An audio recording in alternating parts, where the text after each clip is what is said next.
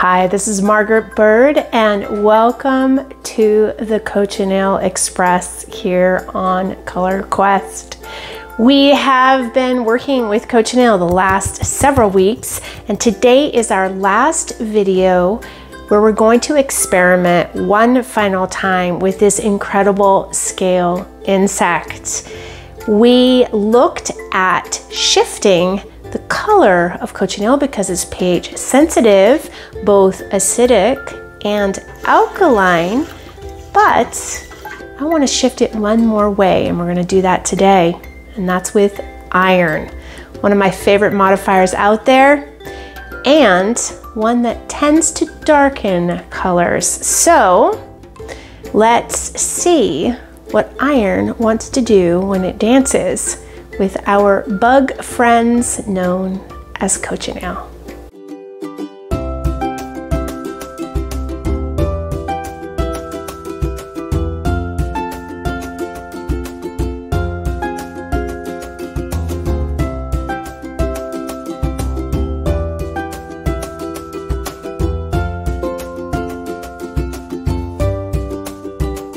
So as we've been shifting colors on the pH scale with cochineal, we have used two different ways in which to do that. Initially, we were putting our modifier right into the dye bath. We did that with the cream of tartar and we did that with the citric acid when we shifted it to the acidic side.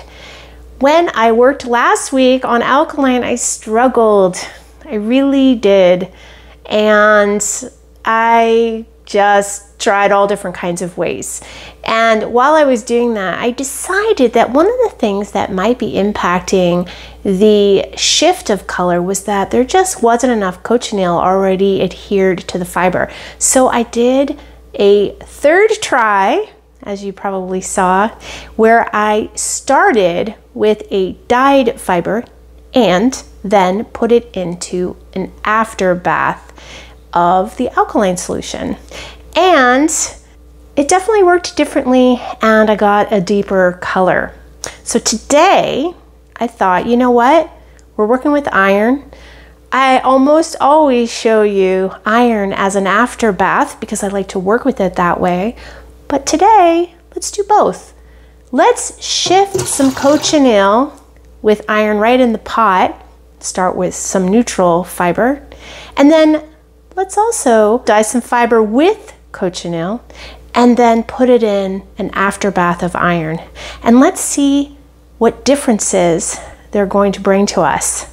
I just love experimenting and I'm pretty confident that we're going to get very different results. So iron has two different jobs in the natural dyers world. One is that it's a color modifier. It shifts the color, it darkens colors, and it will interact with tannins to where you can make really dark grays and blacks using iron. The other thing iron does is that it is a mordant. So if you're using iron, you know that it's going to help with the bond of the dye matter to the fiber. Now today we're going to be using fiber in two ways. One is we're going to be dyeing with cochineal. So because I'm going to be using cochineal first, I am going to do fiber prep with a pre-treatment of a mordant for that one. However, for the other one, I could actually not even use a mordant because the iron will act that way. So when I put the iron into the dye bath, I'm basically doing an in the pot mordant process that's a combo with dyeing. It's pretty efficient. It is just something that you can keep in mind. Iron is just a really amazing tool and I love using it in so many different ways. So fiber prep, you know, but I'm gonna say it again in case you're new here. We need to wash our fibers. Always wash your fibers. You can do it in the washing machine, you can do it on the stove top with some mild detergent, or you can go through the scouring process, which is a much deeper clean, which you can use things like washing soda, soda ash, or commercial grade products like Synthrapol. All of those are great options. You need to decide for yourself what you want to do in your own practice, and it may be dependent upon the kinds of fibers that you're working with. So get those fibers clean. Then you can do a pre-treatment of a mordant, which I almost always do here, or in this instance, we're also going to be looking at the iron as a mordant option. And you know, you're not going to hurt yourself by doing both. And in this video, we will be doing both for the pieces that will be in cochineal first. But know that you can also pre-treat your fibers with iron. That is an option. And if you do that, you know that when you put it into the dye bath, you're already gonna get that modified color. So many different choices, so many different ways, and you end up with so many different results. Just love it. So get your fiber prepped. Now, before anything goes into a dye pot, what do you gotta do? You need to make sure it's wet. It's coming straight from your mordant bath and it's already wet, fantastic. If you are working with dry fiber, something that you've already pre-treated and cleaned but stored and it's dry, put it in water. Just let it soak for like an hour before you use it. You're going to be much happier and the fibers are just better prepared to welcome whatever dye you're going to be presenting it with. Let's go.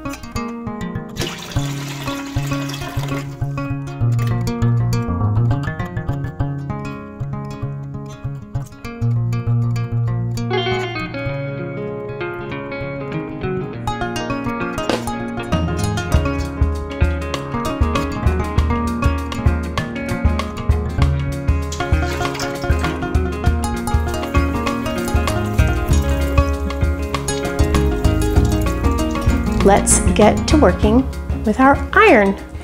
So when I work with iron, I have dedicated utensils just for iron. So I always have gloves to work with, as well as a dedicated spoon, spatula, something that I only use in my iron baths.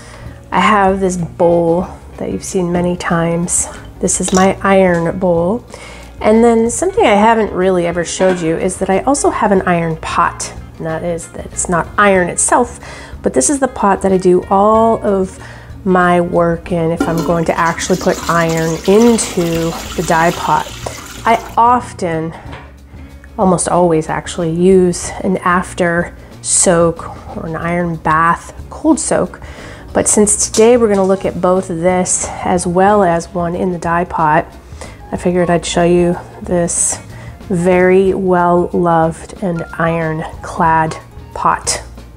So here's my iron powder. I keep it in another bag just to keep any bits of powder from flying around. It does have a way of migrating and it's really strong.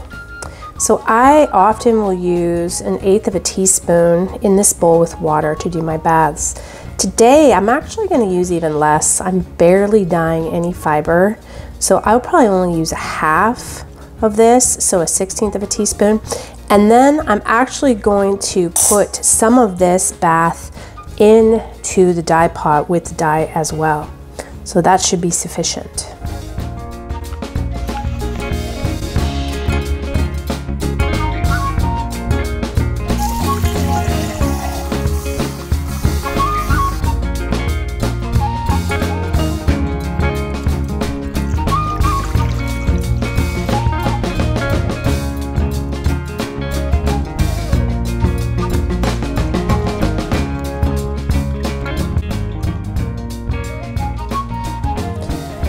This is the exhaust bath from what I used to dye that first round of fiber that we're going to be putting in the iron bath. So I'm simply going to add a little bit of dye from my master dye pot. Give a little more volume, not a lot. And then I'm going to add the iron right into this. You'll see how it changes.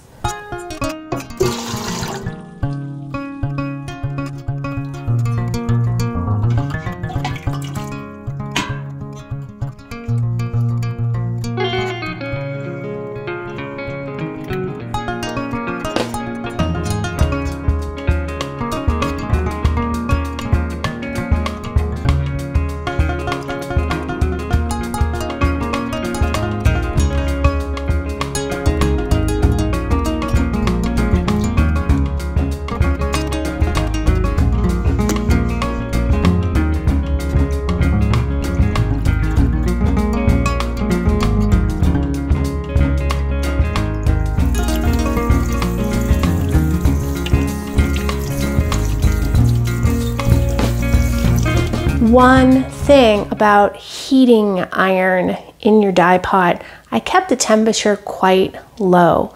And the reason for that is because there are going to be fumes and you just want to be careful when you're working with iron. One of the benefits to working with it cold, as a cold bath, an after bath, is that there's no risk that you're going to have any of those fumes coming into the air. You might decide if you do something on a stove top at a very low heat with iron that you have your fan running and you could even wear a mask. But know that you can always do a cold after soak no matter what.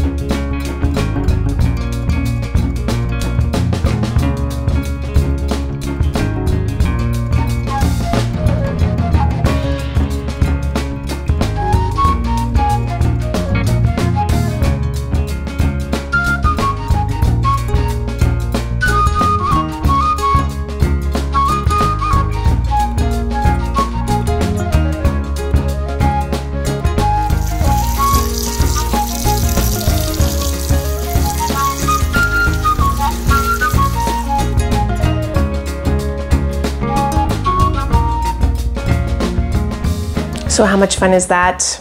Two completely different ways to work with iron and what looks like two completely different results. So let's take a look at those now. I am so excited by this difference.